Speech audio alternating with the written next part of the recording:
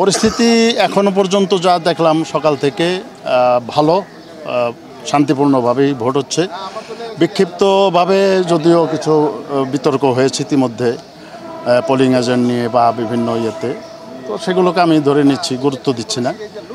Ultimately এই পর্যন্ত সুষ্ঠুভাবে ভোট হচ্ছে এবং বাকিটাও হবে বলে আশা করি।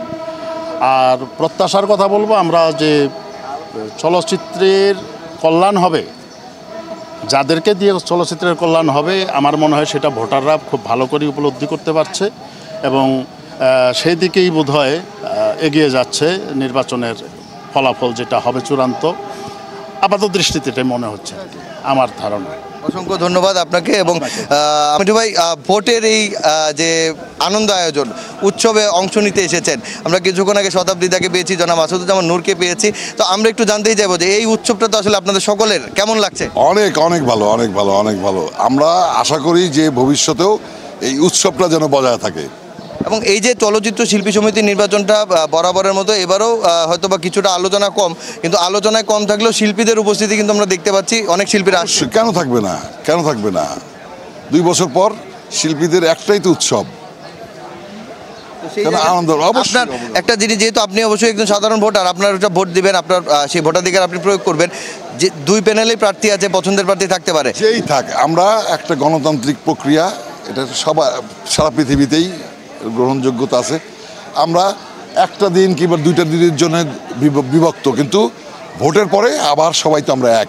প্রত্যাশা কি থাকবে? যারাই নির্বাচিত হয়ে আসবে? তারা চলচ্চিত্র শিল্পী সমিতি যারা নির্বাচিত হয়ে যাবে তাদের কাছে পর্যন্ত যারা শিল্পীদের জন্য কাজ করবে এই এফডিসির যে বাজে অবস্থা সেটার উত্তরণের জন্য কাজ করবে এটাই প্রত্যাশা সবাই। অসংখ্য ধন্যবাদ।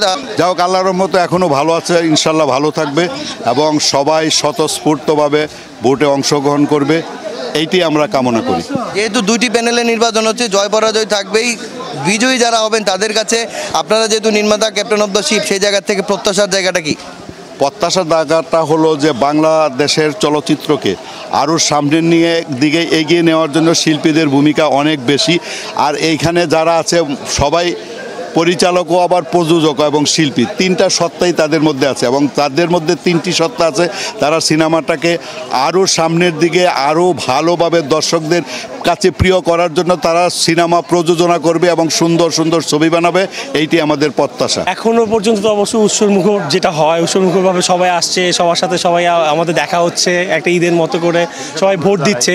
সবার সাথে খুব আহ, এখনও পর্যন্ত খুবই সুন্দর একটা পরিবেশ আশা করছি প্রতিবারের মতো খুব সুন্দরভাবে আমাদের আজকে সুষ্ঠুভাবে ভোট গণনা এবং ভোট নেওয়া সব কিছুই সুন্দরভাবে হবে। আর আশা করছি আমরা আসুক, আমাদের প্যানেল আসুক। আর তারপরও যারাই আসুক, আমি বলব যে এটা আমাদের রিকোয়েস্ট থাকবে অ্যাজ এ শিল্পী হিসাবে, যেন নেক্সট দুই বছর আমাদের সাথে থাকে, আমাদের বন্ধু হয়ে থাকে, আমাদের পাশে থাকে। ধন্যবাদ। দর্শক শুনছিলেন যে চিত্রনায়ক শিবন মিত্র কিন্তু বলছিলেন যে তার প্রত্যাশার কথাটি বলছিলেন। আমরা